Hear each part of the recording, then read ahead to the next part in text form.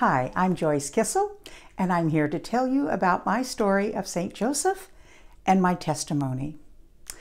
As a child, St. Joseph has been very important to me. My mother introduced us to a nice Italian lady, which she called him St. Joseph.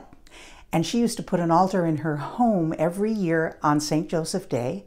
And the proceeds that people would donate from what she offered them bought a plane for her son, who was a priest in New Guinea, and he was able to bring um, communion to all the different islands there.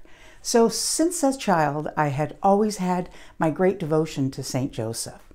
But just recently, I made a novena to St. Joseph, a 30 day novena, to have a friend of mine find a job, and on the 30th day, he was offered a position. So St. Joseph protects us and brings every good thing to us if we just honor him and let him know how much we love him. So enjoy your uh, consecration to St. Joseph because he's so worth it. Thank you.